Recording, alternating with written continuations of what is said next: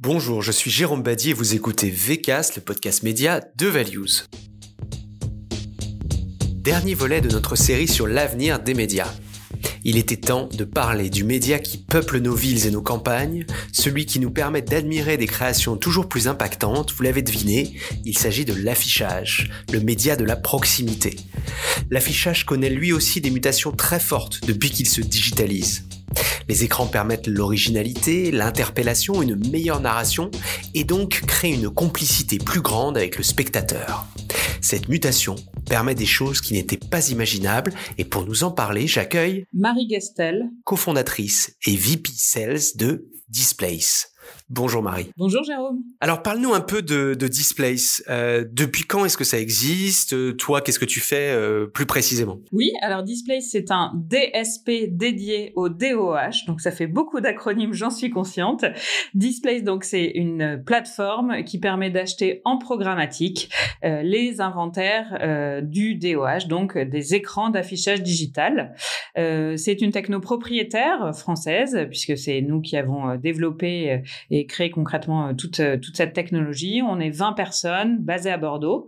Et Displace a 7 ans. On, on est pionnier sur notre marché. D'ailleurs, on a été très en avance sur le marché du, du DOH, euh, puisque le, le RTB s'est réellement ouvert en France l'année dernière.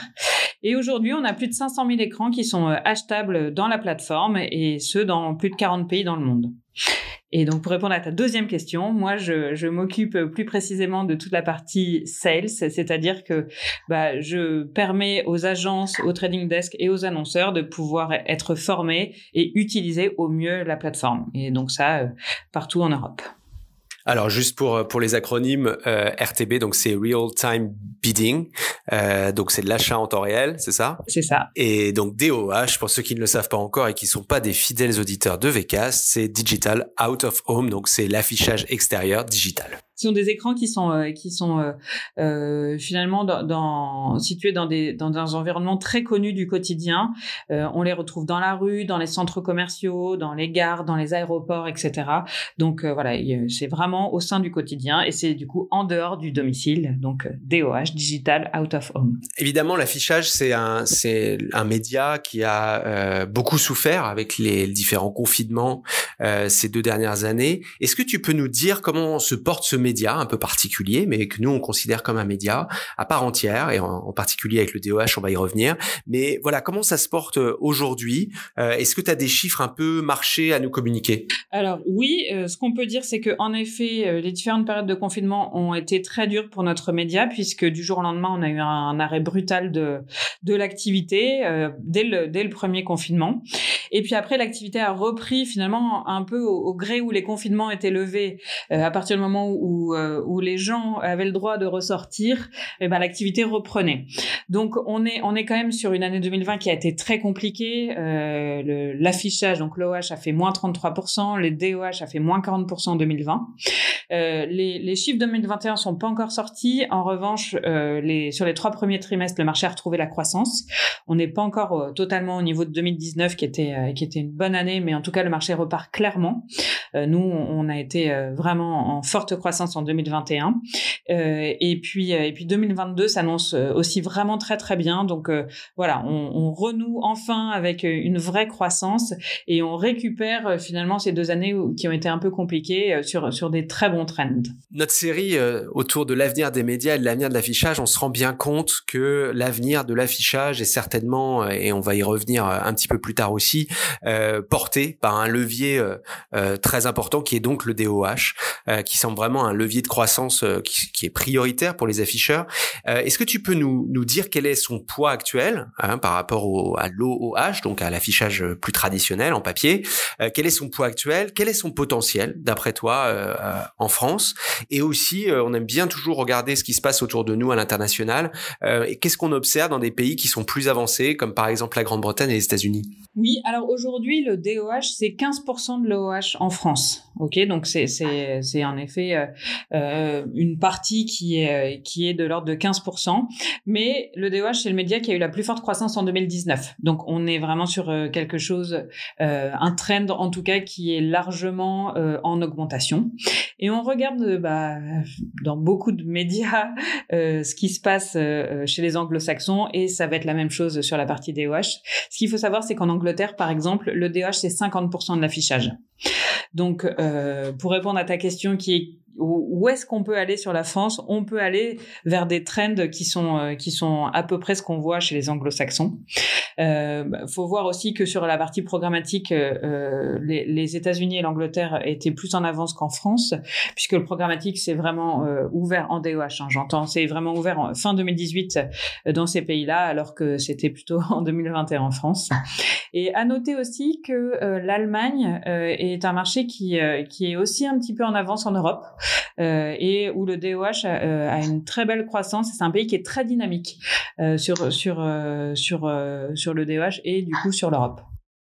Est-ce que tu as identifié des freins euh, dans l'expansion du DOH, dans l'affichage, euh, d'une manière générale? Euh, Est-ce que par exemple les, les villes euh, sont rétives à ajouter euh, des écrans dans l'espace public? Je ne sais pas si on peut appeler ça des freins. En tout cas, ce qui est sûr, c'est que euh, l'implantation de DOH dans le domaine public est soumise à la validation de la mairie. Donc c'est la mairie qui, qui, décide de ça.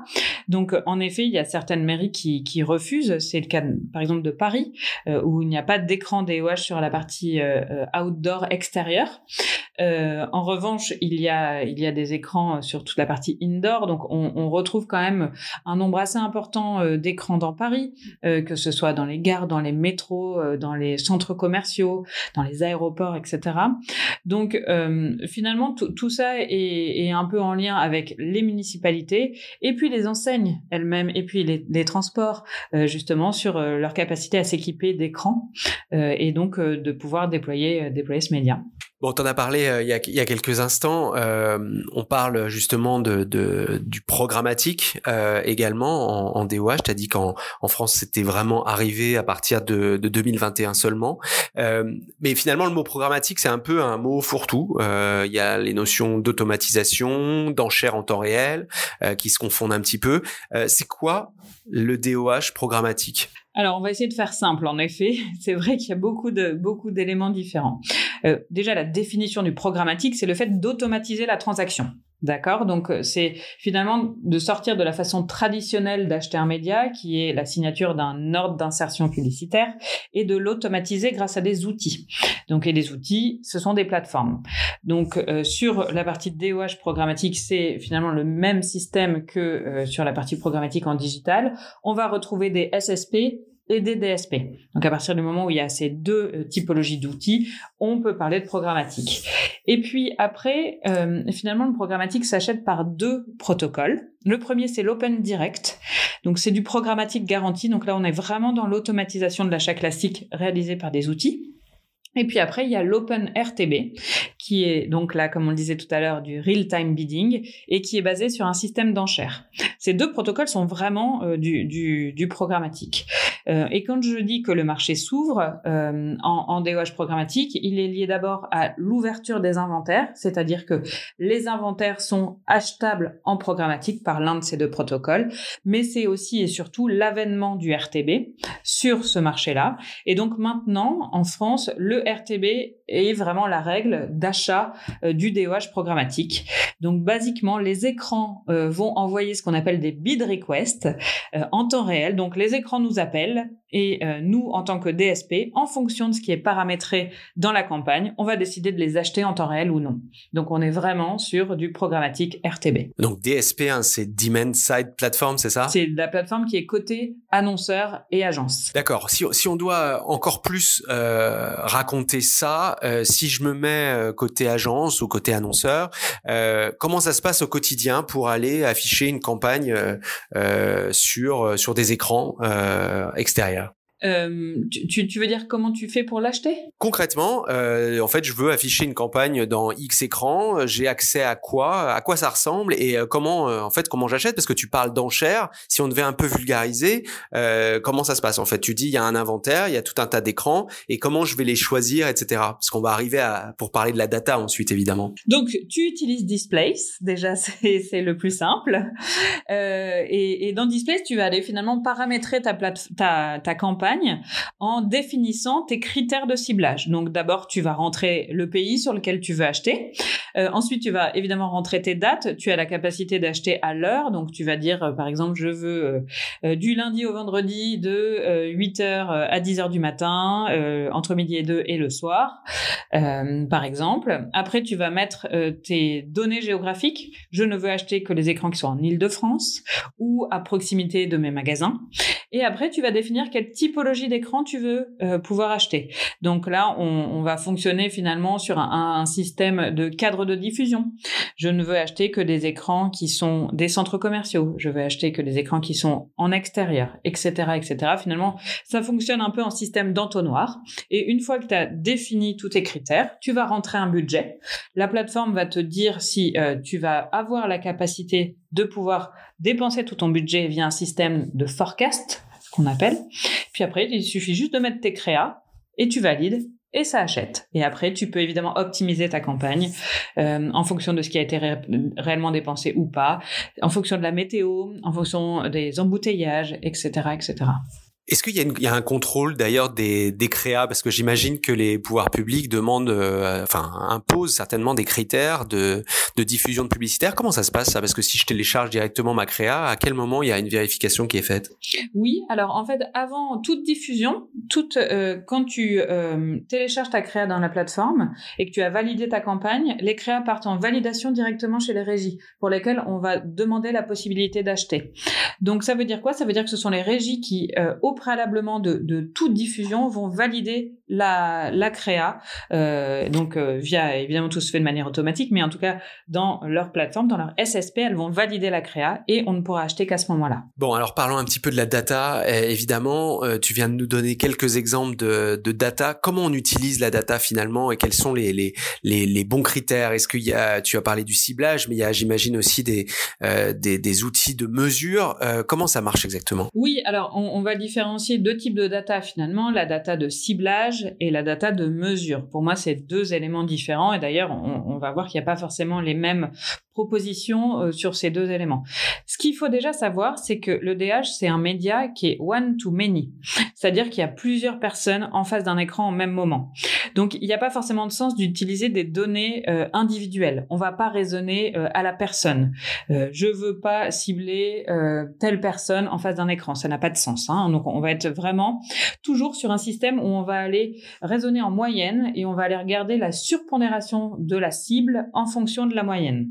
D'accord? Donc ça, c'est comme ça que va, va marcher la data d'audience en ciblage. Euh, donc on va aller sélectionner directement dans la plateforme, euh, on travaille avec AdSquare sur cette partie-là, euh, une cible, donc ça peut être par exemple les 18-25 ans euh, qui sont euh, des fast food lovers, donc qui adorent euh, manger de, des, des, des hamburgers, on va dire. Et donc, en quelques clics, euh, on va aller pouvoir euh, bah, sélectionner cette cible et la plateforme va aller euh, sélectionner les écrans qui vont surpondérer cette cible par rapport à la moyenne.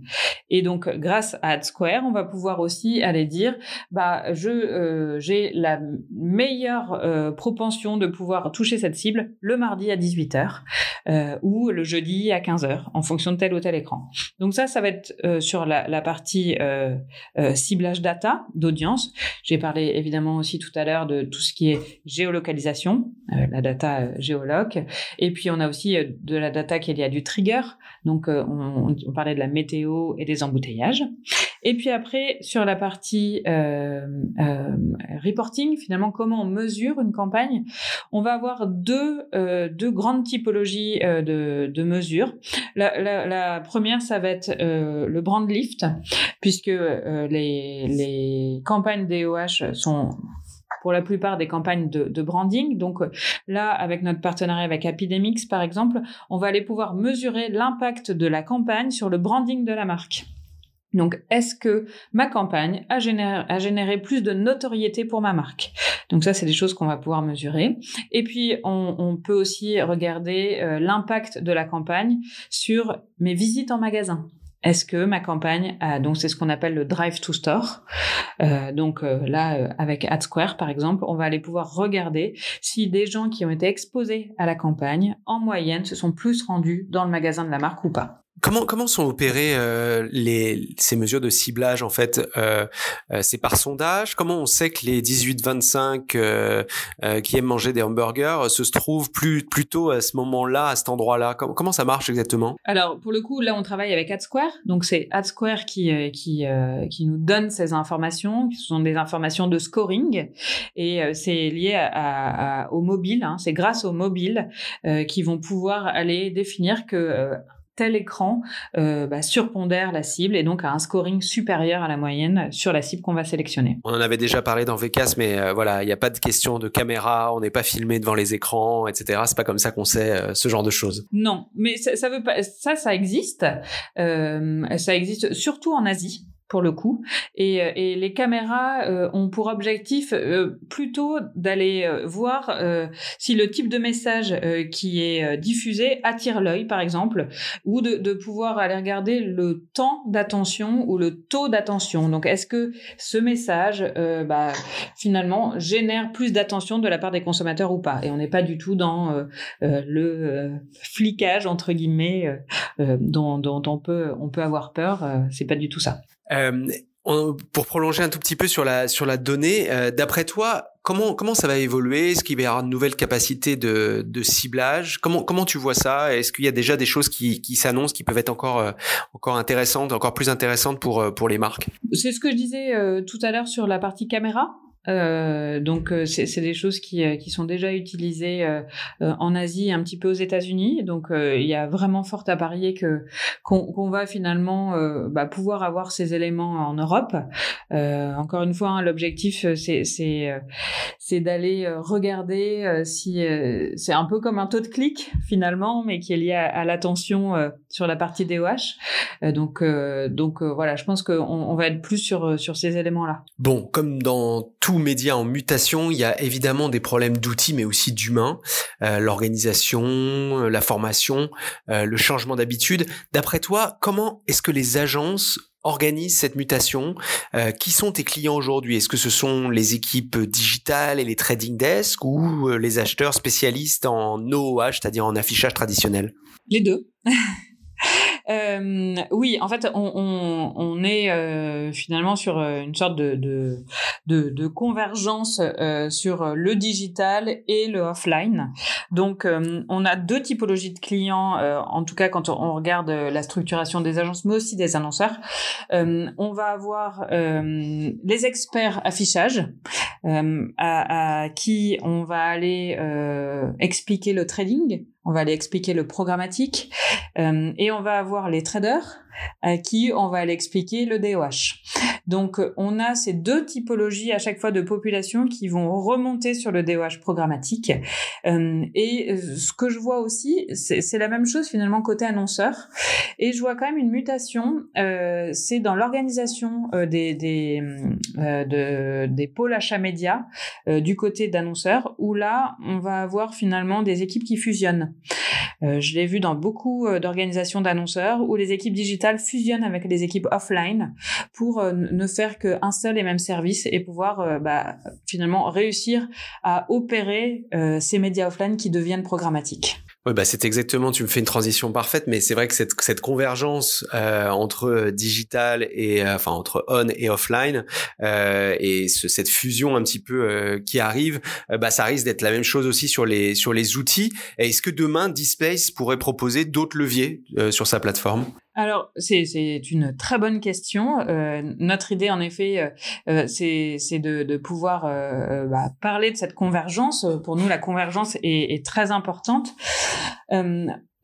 on a, on a quand même un, un, point qui est que euh, le DOH ne peut pas s'acheter comme les autres médias. Ça, c'est un point très important. Il y a des KPI spécifiques.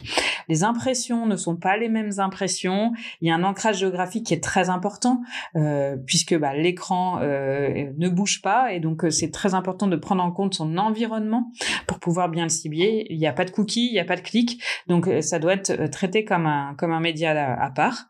et d'ailleurs, on voit qu'il y a beaucoup de SSP qui sont dédiés au DOH. Hein. Il n'y a quasiment pas de, de SSP qui sont euh, qui sont euh, omnichannel. Ils sont souvent ils sont souvent experts.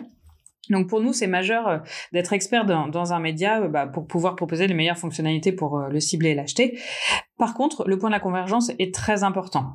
Donc, pour moi, il y a deux éléments sur la convergence, c'est l'achat et la capacité de réaliser des mix médias.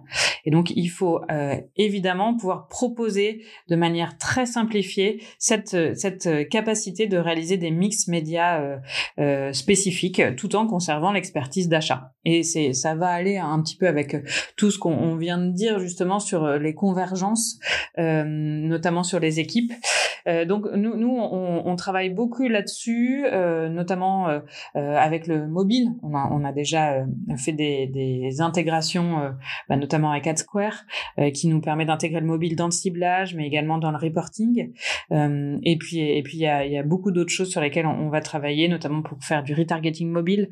Et l'objectif, c'est de pouvoir proposer des ponts entre entre displays et l'achat de médias beaucoup plus beaucoup plus facilement. Ça veut dire quoi? Ça veut dire que si je me promène à côté d'une créa qui est euh, que j'ai vu ou pas sur un sur un écran, je pourrais être je pourrais être retargeté sur mon téléphone euh, euh, directement euh, en display pendant que je consulte, que je consulte un, mon, mon, site préféré? Ah oui, pourquoi pas. L'objectif c'est de dire finalement on commence par la campagne DOH, donc on commence par diffuser euh, sur un, un, écran qui a une position géographique.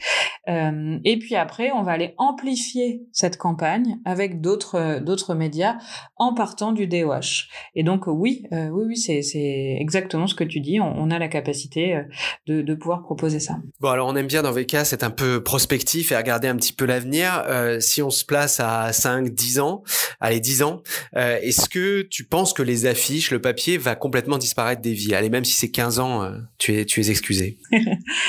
non, je pense pas. Je pense pas. Je pense qu'il y aura toujours un, mix OH DOH. en fait, d'une certaine façon, ces deux médias ils sont complémentaires. Donc, euh, donc euh, il y aura toujours euh, l'un et l'autre. il est fort probable, comme on l'a dit juste avant, que le DOH prenne une part plus importante dans l'OH, mais l'OH va conserver un, un, avenir certain. Et puis l'objectif, c'est finalement pas de remplacer le DOH par l'OH, c'est de proposer des nouveaux médias, enfin un nouveau média avec des emplacements choisis, avec un contexte qui est qui est ultra pertinent. Et donc donc c'est plutôt ça ce à quoi on va assister. Oui, et puis on n'en a pas parlé, mais on en avait déjà parlé dans un précédent podcast sur ces questions. Mais euh, il y a, avec grâce au, DOH, on peut commencer à parler de contenu euh, beaucoup plus, euh, presque de brand content. Euh, on avait donné des exemples avec notamment Brut, qui fait, qui a, qui a un partenariat avec c'est Claire Chanel, je crois. Mais en tout cas, voilà, on peut grâce au, au DOH aussi avoir une, une créativité beaucoup plus importante qu'une simple qu'une simple affiche figée, même si une photo peut être sublime. Oui, tout à fait. Et d'ailleurs, euh, sur cette partie-là, nous, on, on, fait beaucoup de ce qu'on appelle de la DCO, donc Dynamic Content Optimization, c'est-à-dire que euh, on va pouvoir modifier en live la créa. Voilà, pour euh, pour y mettre des éléments pertinents. je donne un exemple des paris sportifs où on va aller mettre en temps réel trois heures avant le match les cotes du match donc euh, voilà, redonner euh, tout cet aspect live euh, à ce, ce média aussi puissant qu'est le DOH. Bon, enfin, c'est la question rituelle dans ce dans cette série de l'avenir des médias. c'est la question métaverse. quelle place pour l'affichage dans le métaverse On peut vraiment y penser Est-ce que vous vous commencez à travailler à, à des choses là-dessus, à des solutions? Oui. Alors, on va surtout parler de virtual DOH. au sens large. Euh, c'est des choses qui existent déjà. C'est finalement tous les écrans dans les mondes virtuels. Euh, ça existe déjà, euh, notamment dans les jeux vidéo. Euh, donc, euh, tout à fait, le DOH a, a, complètement sa place. On est en train d'étudier. Il y a déjà des SSP hein, qui qui, qui travaillent là-dessus. Donc, nous, on est en train d'étudier les connexions avec les SSP.